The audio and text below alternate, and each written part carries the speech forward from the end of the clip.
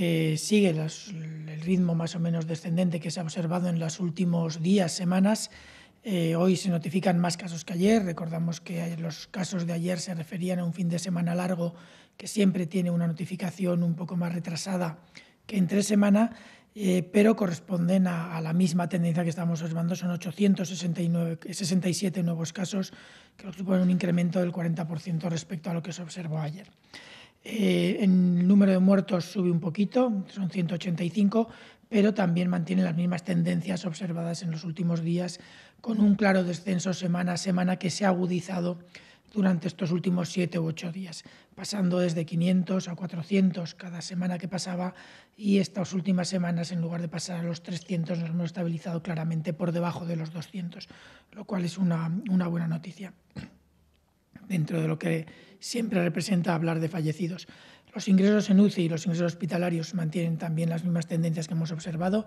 Yo creo que ya no, ya no tenemos muchas dudas en, en las tendencias y por lo tanto no tiene mayor mayor discusión eh, si los datos suben o bajan un poco, puede haber otros aspectos que podamos valorar.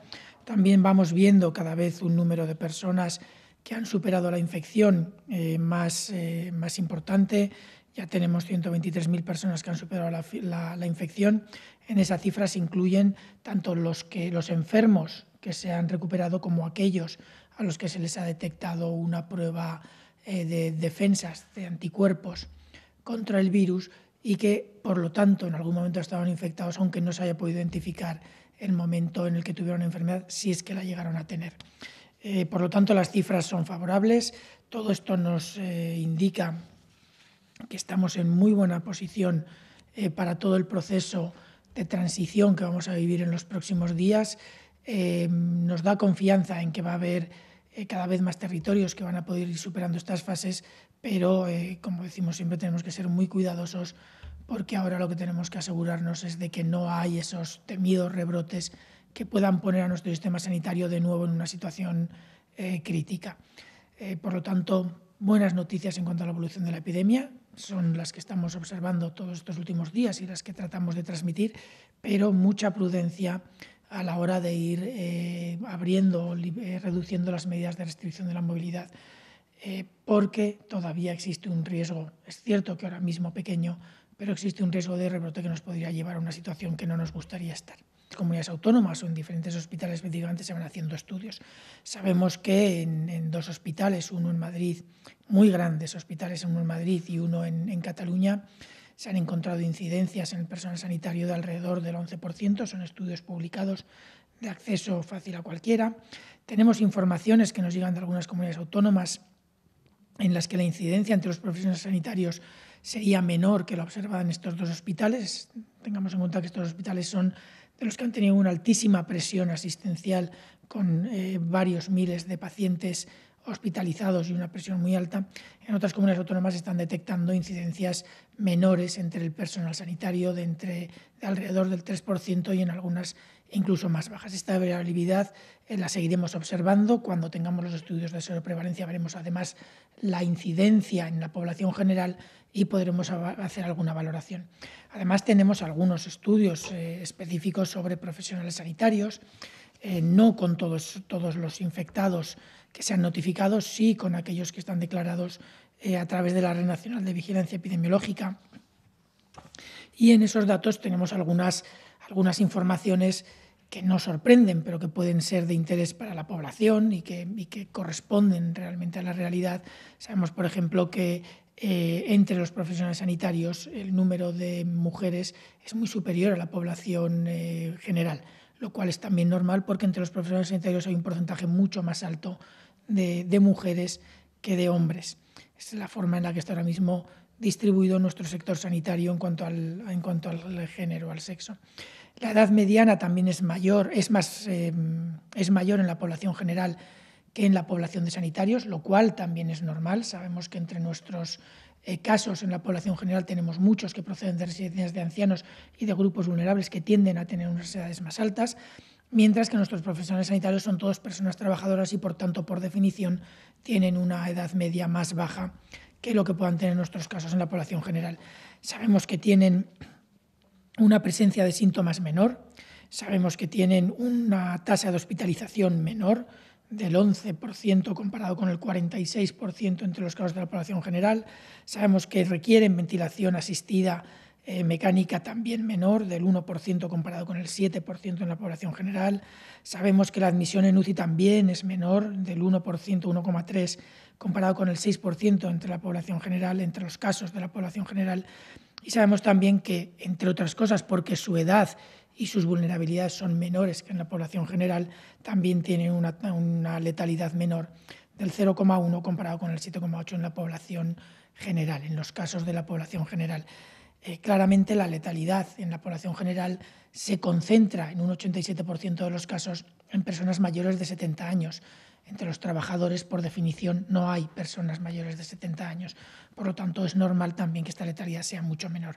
Todos estos indicadores dejan muy, muy, muy patente el, tipo de población que son los profesionales sanitarios, porque estos datos se asemejan a los de poblaciones más jóvenes dentro de los casos de la población general. Y además nos indican que, mm, eh, porque también tenemos una, una probabilidad de diagnóstico más rápida desde el inicio de síntomas en la población de profesionales sanitarios que en la población general, entre otras cosas porque tienen un acceso al, sistema diagnóstico más fácil y más rápido que la población general. Están en su centro de trabajo y les resulta más fácil una vez que inician síntomas.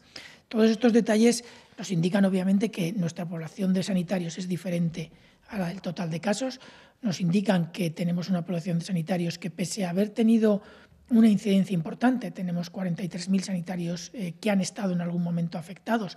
Ahora mismo la gran mayoría de ellos están ya reincorporados al servicio. No les puedo dar el dato exacto, pero sí que la gran mayoría de ellos están reincorporados.